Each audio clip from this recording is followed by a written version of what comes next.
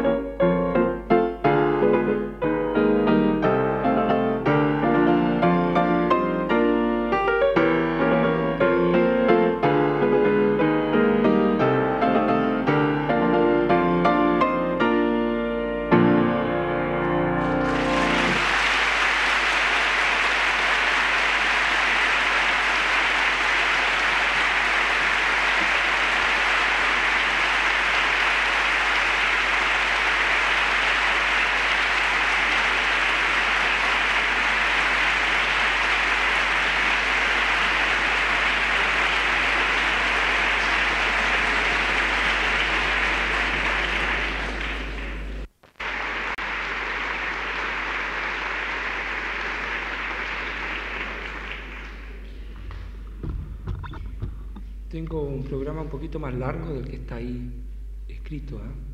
¿No les importa? Así que voy a tocar ahora Beethoven, las 30. las 32 variaciones en Do menor.